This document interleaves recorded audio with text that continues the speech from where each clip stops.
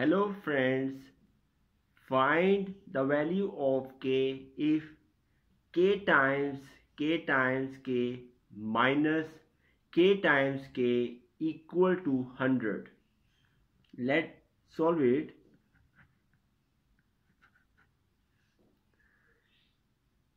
k times k times k is same as k cube minus k times k is same as k square equal to 100 as it is. K cube minus k square minus 100 equal to 0 to solve this we have to need here cube and square for this 100 is same as 125 minus 25 equal to 0 because 125 minus 25 equal to 100 and 125 is 5 cube and 25 is 5 square. I hope you understood. k cube minus k square minus 125 5 cube minus minus plus 25 5 square equal to 0 k cube minus 5 cube minus k square plus 5 square equal to 0 k cube minus 5 cube minus common k square minus 5 square equal to 0 since a cube minus b cube equal to a minus b a square plus a b plus b square and a square minus b square equal to a plus b a minus b so this equation will become k cube minus 5 cube k minus 5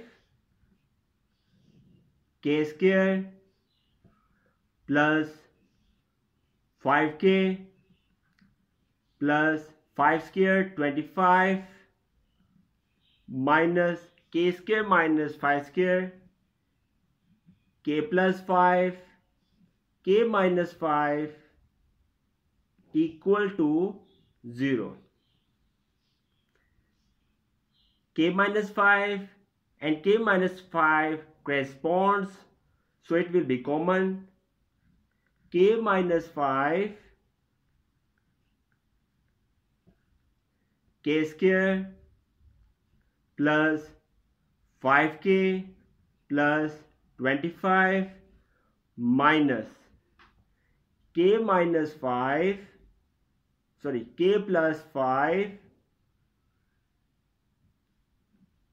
equal to 0 k minus 5 equal to 0 or k square plus 5k plus 25 minus k minus 5 equal to 0 k equal to 5 which is our first real solution. And next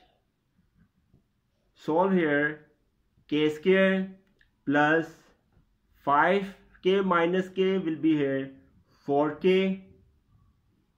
plus 25 minus 5 equal to 20 equal to 0. This is a quadratic equation a equal to 1, b equal to 4, c equal to 20. Apply now quadratic formula k equal to minus b plus minus square root b square minus 4ac over 2a k equal to